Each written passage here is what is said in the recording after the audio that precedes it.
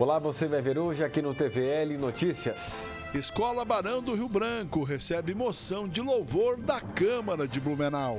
Vereador Adriano Pereira cobra pavimentações em vias públicas da Itopava Central. Redução no número de acidentes de trânsito em Blumenau e ações do Maio Amarelo são temas da Frente Parlamentar de Mobilidade Urbana. Hoje é segunda-feira, 30 de abril de 2018. O TVL Notícias já está começando.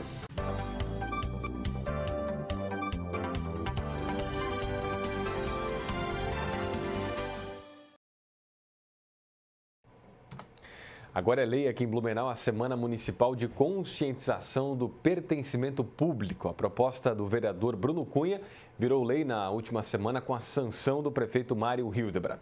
Pela nova legislação, o tema de reflexão são os gastos extras que o município tem devido às ações de vandalismo e descaso com bens e serviços públicos. As ações de conscientização devem acontecer anualmente na segunda semana, sempre do mês de novembro. Início do Maio Amarelo e redução de acidentes em Blumenau são temas abordados pela Frente Parlamentar da Câmara de Mobilidade Urbana. A Frente Parlamentar em Defesa de Políticas Públicas de Mobilidade Urbana de Blumenau realizou a segunda reunião do ano. E, na ocasião, foram discutidos assuntos relacionados à segurança no trânsito e o início das ações do Maio Amarelo.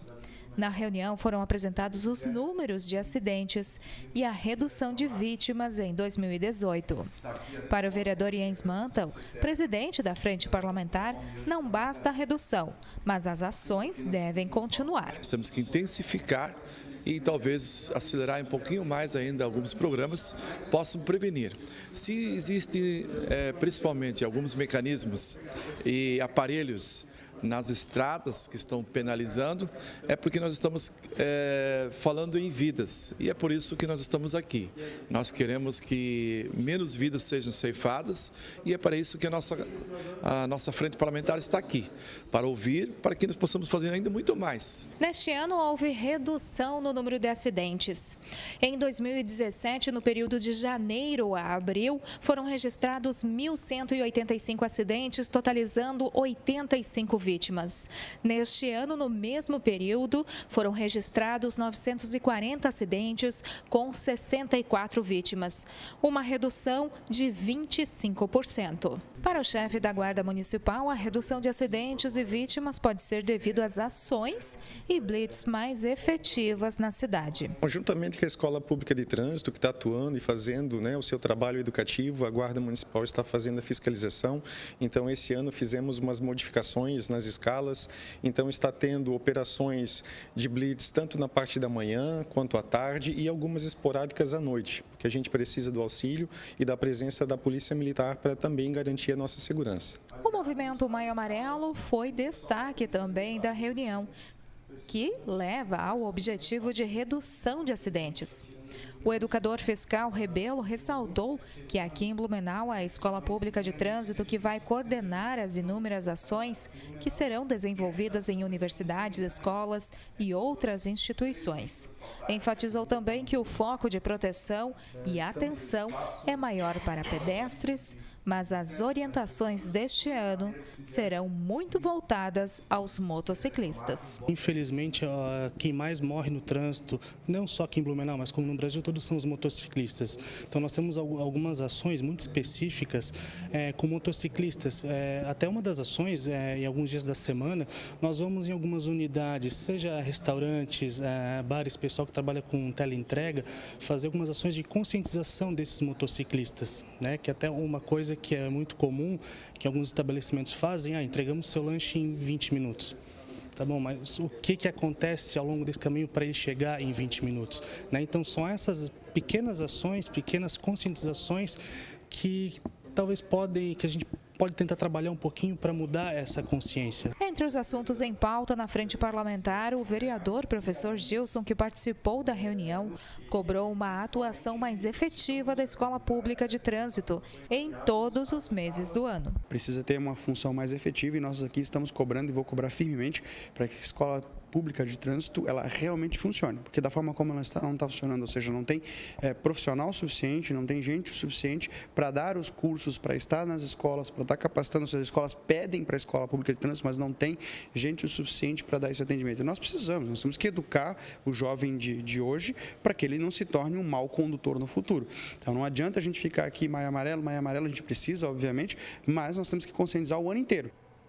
Transporte coletivo aqui de Blumenau recebeu 31 novos ônibus zero quilômetro. Os novos veículos entraram em operação a partir de hoje, segunda-feira, estão sendo utilizados em linhas alimentadoras e interbairros. Agora, no início desse mês de maio, vão chegar ainda mais dois novos micro-ônibus zero quilômetro também. Com as mudanças, a frota do transporte coletivo aqui de Blumenau está 63% renovada, totalizando 156 ônibus novos, todos com acessibilidade. O contrato do CETERB com a empresa responsável prevê a renovação completa da frota até o ano de 2020. E você vai ver já já depois do intervalo. Escola Barão do Rio Branco recebe moção de louvor da Câmara de Blumenau. Vereador Adriano Pereira cobra pavimentações em vias públicas da Itopava Central. Instante só, nós já voltamos.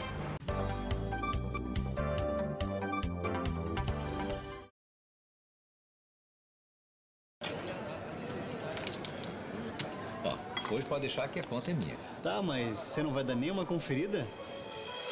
A Câmara de Vereadores de Blumenau tem um compromisso com a cidadania e sabe da importância de parar e conferir suas contas. No portal da Transparência, a Câmara disponibiliza informações sobre a gestão de seus recursos para a comunidade. É isso aí, você tem toda a razão. Exerça sua cidadania, fiscalize Câmara de Vereadores. Independência e transparência cada vez mais perto de você.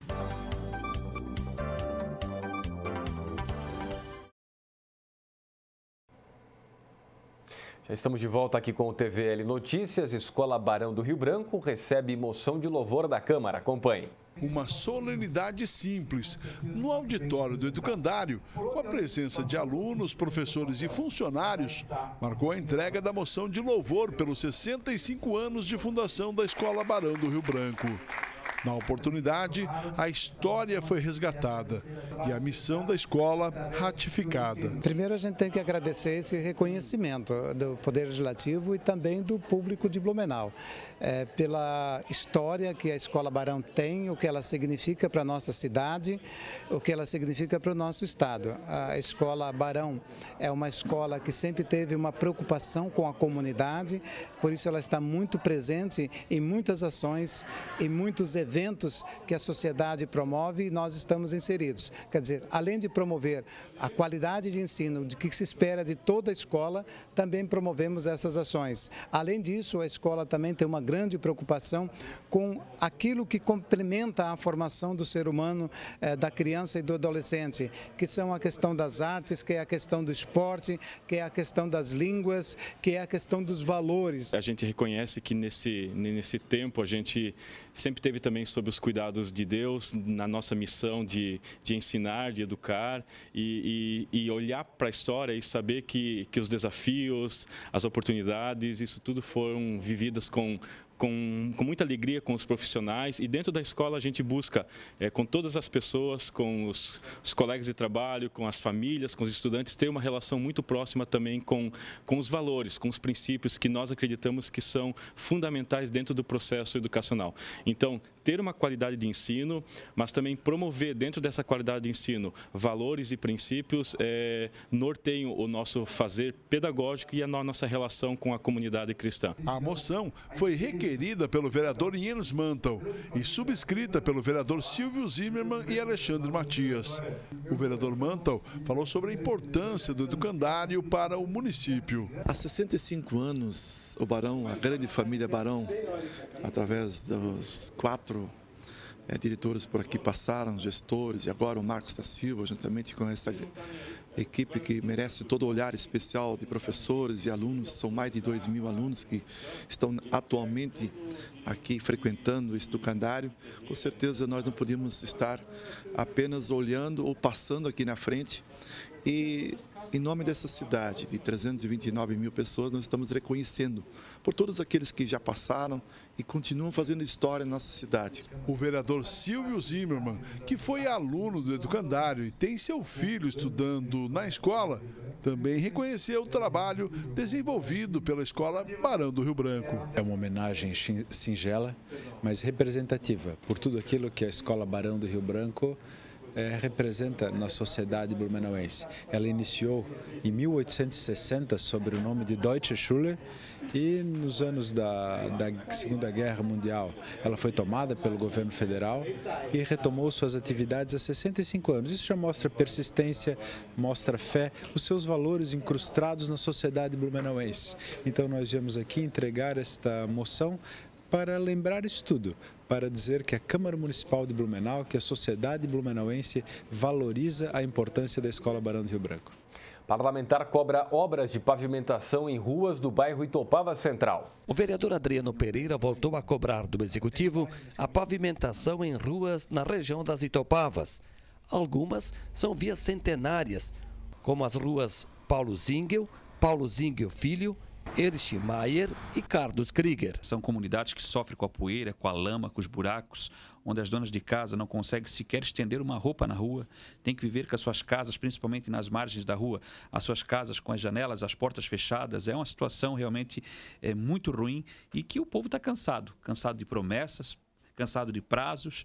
Né? Agora, é, recentemente se criou uma comissão, inclusive outros vereadores fazem parte, é, para acompanhar essa reivindicação. A questão dessas, dessas ruas, essas quatro ruas, foi alocada no, no orçamento do município também. Esperamos que com a alocação delas no orçamento, o poder público, o poder executivo, é, busque captar os recursos para a execução dessas obras. Já tem projetos elaborados para a execução da pavimentação dessas ruas, mas acontece que, infelizmente, o tempo está passando, está né, tá só nos projetos, está só no papel, está só na gaveta ainda e a gente tem intensificado essa cobrança em nome dos moradores, em nome das lideranças, das associações de moradores, daquela comunidade que tem, tanto tem sofrido. E, paralelo a isso, nós temos um outro problema que é o tal do caminhão-pipa que vive na oficina, que vive estragado, que vive quebrado.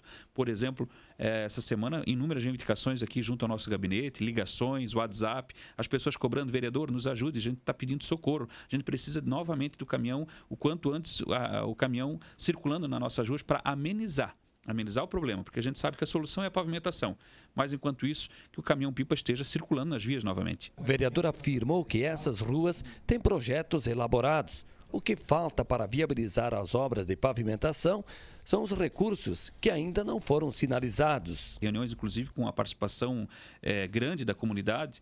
É, e lá foi apresentado né, pela equipe da Secretaria, Secretaria de Obras, o engenheiro Leite, entre outros, que lá estiveram apresentando né, os projetos a, a, da, referentes à pavimentação aos moradores. Então, os projetos, como falei, existem, né, temos que buscar os recursos, ou melhor, o Poder Executivo, é que tem a caneta na mão, que tem o, o poder na mão, tem que buscar esses recursos, né, que nós aqui também já alocamos na Câmara de Vereadores, é, no orçamento também, para que a gente possa ter a execução dessas obras. Agora, é preciso que tenha uma atenção especial aí do agora novo prefeito, né, o prefeito Mário Delbran, que assume aí, assumiu recentemente o cargo de prefeito, que ele olhe com carinho para essas situações. Ou seja, que ele olhe com carinho para os bairros da nossa cidade, para a realidade que vive essas comunidades e não diferente para essa que a gente traz aqui nessa matéria, que trata exclusivamente dessas quatro importantes ruas da região norte da, da, da cidade. A Paulo Zingel, Paulo Zingel Filho, a Erich Maier e a Carlos Krieger. Ruas que realmente o povo já não acredita mais. Aliás, com toda razão né? e nem deve mais acreditar em promessas. As, as pessoas, os moradores lá, querem ação, querem resultado, querem solução, querem ver o asfalto passando em frente de suas casas e querem o fim da poeira. Além de enfatizar os problemas que a comunidade enfrenta sem a pavimentação das ruas, o parlamentar reforçou a ideia de usar o caminhão-pipa e chegou a sugerir a aquisição de um novo veículo. Se tem aí uma, uma, uma previsão negativa, que eu espero que, que, que, não seja essa, mas negativa, de que ainda vá demorar para iniciar a pavimentação ou a execução dessas obras, que se adquira um caminhão-pipa com recursos públicos e se coloque lá à disposição da comunidade para que eles tenham todos os dias as, essas vias sendo molhadas. Lá tem comunidades grandes, por exemplo, ali no próprio início da rua Erichmeier, tem ali a comunidade a Vila Jensen, que é uma comunidade bastante populosa. É uma região que de, de grande número de famílias que residem lá e o sofrimento é muito grande. Dias de chuva, um lamaçal e depois da chuva fica aquela buraqueira ah, cheio de crateras as ruas, né? É, e depois da chuva, né, infelizmente, a poeira. Mas é uma poeira realmente que é, não, não, tem, não tem condições realmente da, da, das pessoas suportarem e aguentarem. Viver, imagina você viver com as janelas e as portas fechadas o dia inteiro por causa da poeira, não, não dá. Muita atenção porque hoje é o último dia para declarar o imposto de renda dentro do prazo da Receita Federal. Para preencher a declaração é preciso baixar o programa gerador no site da Receita, além dos aplicativos em tablets e smartphones. O contribuinte que não fizer a declaração ou entregar fora do prazo fica sujeito ao pagamento de multa que vai de 165 reais a 20% do imposto devido. Deve declarar quem recebeu rendimentos tributáveis acima de R$ 28.559,70 em 2017.